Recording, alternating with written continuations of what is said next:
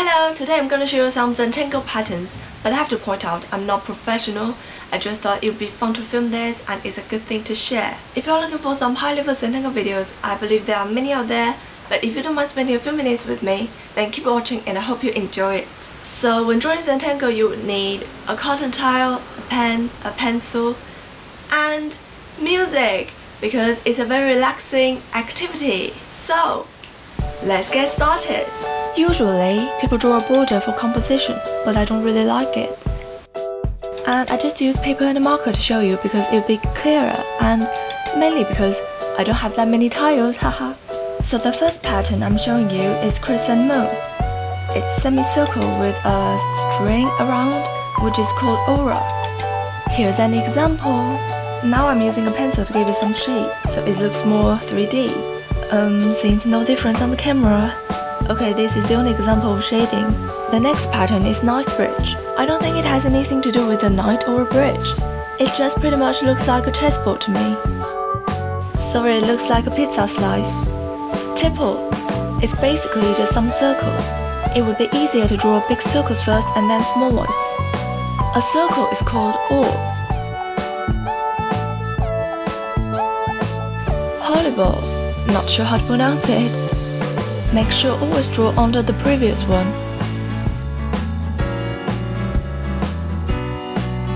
I... Eyelet and ribbon, not sure how to pronounce it either, It's like a chain. And I don't know why there's a lace thing and a rectangle. Can't believe this is the most difficult one to draw. This is my third attempt. Afterglo. Connect small cross and big cross.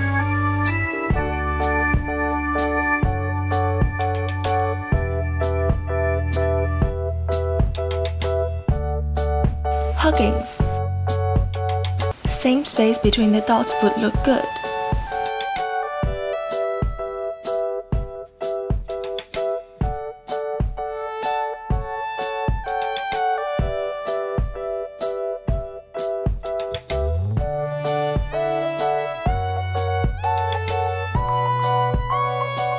Hypnotic. It can be used everywhere and I'm just drawing it in squares.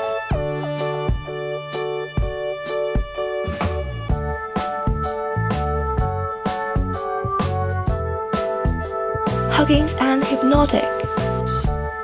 Cadent. Also like Huggins, same space between the circles. Connect circles with S.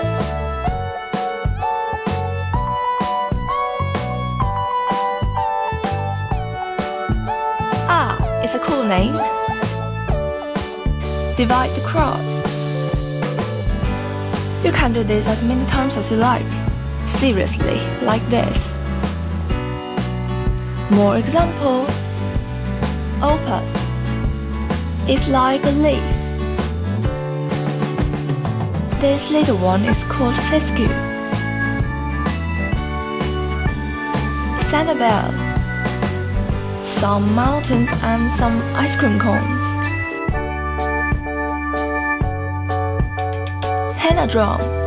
I don't think it looks like a drum, but a flower though a moon first and then some petals.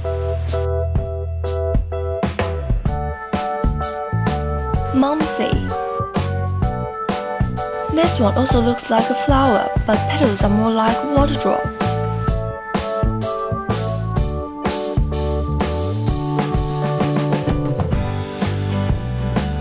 The last pattern, Featherfall, is like another kind of leaf.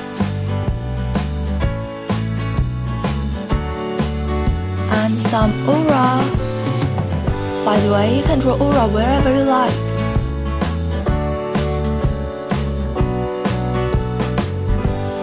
And I'm adding some fescue.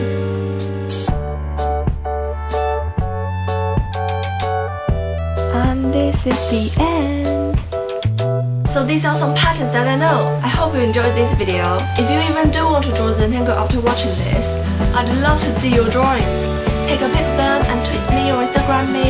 At jessiechou93 with the hashtag Zentangle with Jessie so we all can get inspired together.